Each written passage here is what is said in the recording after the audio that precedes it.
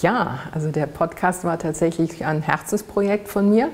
Ähm, der ist entstanden aus damals einer Wut darüber ähm, während des ersten Lockdowns, dass ich das Gefühl hatte, die einzigen Personen, die sich zum Virus und zur Welt äußern, sind Männer.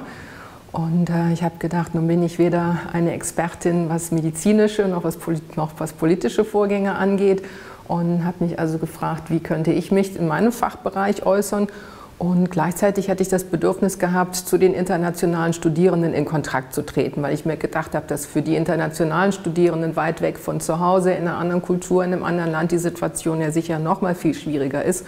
Und bin dann irgendwann mal spazieren gehen auf die Idee mit einem Podcast gekommen.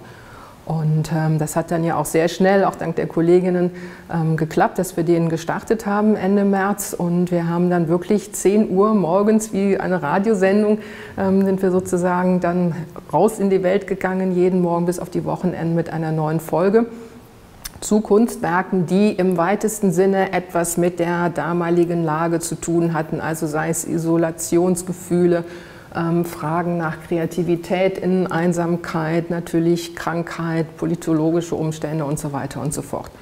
Und wir haben dann mit, zum Glück, das war ja auch die Idee von Anfang an, zunehmender Beteiligung der Studierenden bis Ende Juni haben wir dann sozusagen gesendet.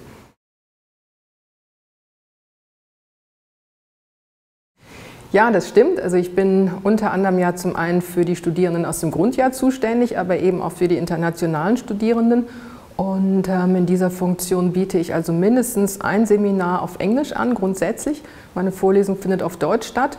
Und äh, neben dem Seminar, was ich regulär anbiete, ähm, habe ich jetzt auch einen neuen Podcast gestartet, der auch in englischer Sprache stattfindet, damit es eben noch ein zusätzliches Angebot für die internationalen Studierenden gibt, die Credit Points möchten und vielleicht nicht in mein Seminar kommen können oder wollen oder eben auch für alle, die noch ein bisschen Informationen sich holen wollen, worüber die Kommilitoninnen nachdenken oder auch eben einige meiner Kolleginnen. Eine meiner Aufgaben im Rahmen meiner Professur ist es, eine Einführungsveranstaltung zu halten, eine Vorlesung, Einführung in die Kunstgeschichte der Moderne und Gegenwart. Das mache ich. Ich versuche dabei ein Gefühl dafür zu vermitteln, dass die Kunstgeschichte eben nichts ist, was vom Himmel gefallen ist oder irgendwie sich so natürlich, wie das in äh, früheren Modellen der Kunstgeschichte, besonders Stichwort Alfred Barr, der Fall war, so als wäre das sozusagen ein Prozess, den man gar nicht steuern kann, der aus sich herauskommt, versuche ich sehr deutlich zu machen, dass das etwas Menschengemachtes ist und dass wir alle, auch wenn das immer so ein bisschen pathetisch vielleicht klingt, dass wir alle schon ähm, die Kunstgeschichte auch schreiben. Ähm, während einfach damit, womit ich mich beschäftige, womit Kolleginnen sich beschäftigen, auch womit die Studierenden sich beschäftigen, hat natürlich einen Einfluss darauf und macht bestimmte Themen stark und lässt andere Themen dann wiederum in den Hintergrund treten. Und in meinen Seminaren versuche ich eben auch, weil die Begeisterung für Kunstgeschichte nicht immer so ganz ausgeprägt ist bei einigen Studierenden, versuche ich da auch eben eigentlich das Gleiche zu machen, Kunstgeschichte Mitte des 19. Jahrhunderts bis in die Gegenwart, nenne das aber anders. Also betrachte ähm, die Zeitabläufe immer unter verschiedenen Begriffen. Also jetzt aktuell zum Thema Healing, aber beginne dann trotzdem im 19. Jahrhundert, in diesem Fall sogar noch deutlich früher als sonst, obwohl das eigentlich ja nicht mehr mein Gebiet ist, und gucke dann eben immer unter bestimmten thematischen oder auch formalen Aspekten durch diese Zeit hindurch.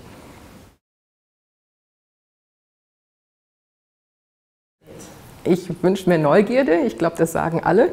Ähm, das ist aber auch wirklich so das Beste, was man mitbringen kann. Und tatsächlich wünsche ich mir sehr, dass Sie sich darauf einlassen, sich mit Kunstgeschichte zu befassen.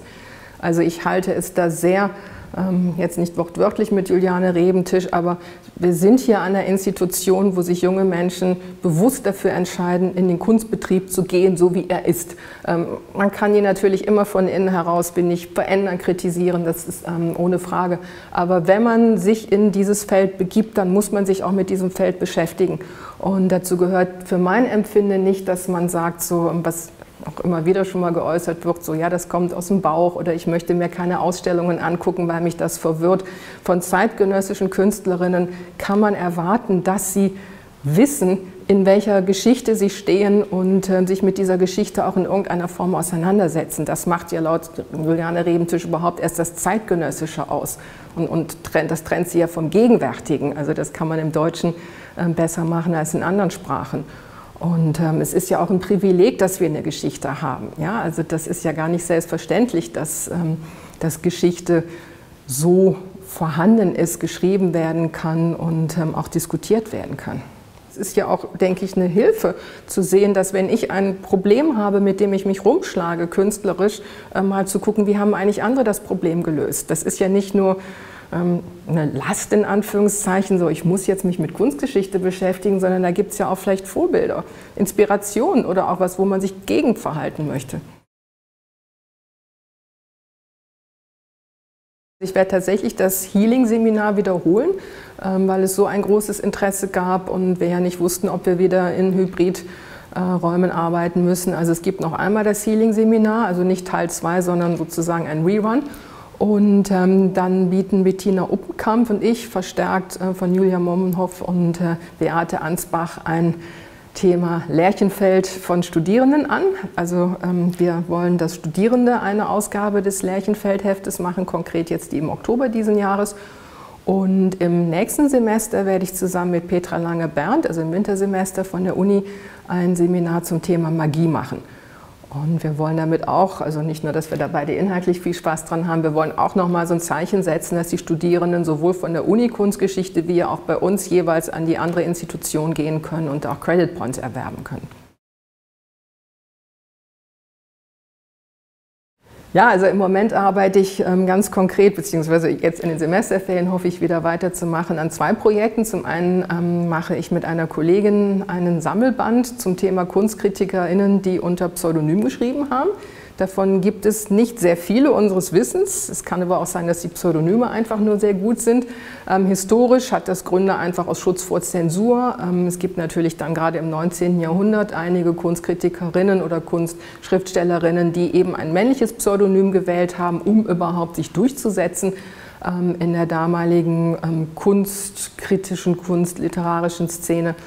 Und ähm, ich schreibe über Vernon Lee, eine Kunstschriftstellerin unter anderem, ähm, die Mitte des 19. Jahrhunderts geboren wurde und die ähm, sich mit der Musikgeschichte Italiens ähm, befasst hat, Gothic äh, Novels geschrieben hat und eben auch Kunstkritik betrieben hat. Also eine sehr spannende Figur. Und das Zweite, woran ich aktuell arbeite, ist ein etwas längerer Text, der hier im Materialverlag dann erscheinen soll, zur Frage, ob wie auch immer geartete Objekte oder Aktionen, die wir als Kunstwerk betrachten, auch aufhören können, Kunst zu sein. Ähm, unter welchen Umständen und was das darüber sagt, wo bei uns eigentlich die Grenzen zwischen Kunst und Nichtkunst verlaufen.